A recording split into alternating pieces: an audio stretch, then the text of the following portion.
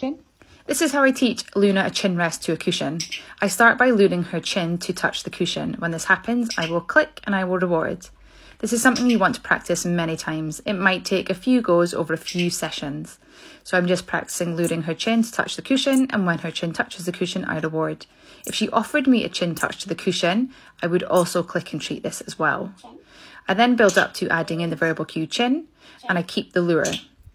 You're looking to progress this so you're not having to lure your dog's chin onto the cushion, and they will do this with the verbal cue only. So once you've practiced this a few times, you are then going to try to just use the verbal cue chin. And then you're able to start adding in small distractions. The aim with this is that I can ask Luna for a chin while I do things to her, like look in her ears, touch her paws. If her chin comes off, I stop. If her chin goes on, I carry on and I reward if she remains on the cushion with her chin. This is a really useful cue and it's great for husbandry training.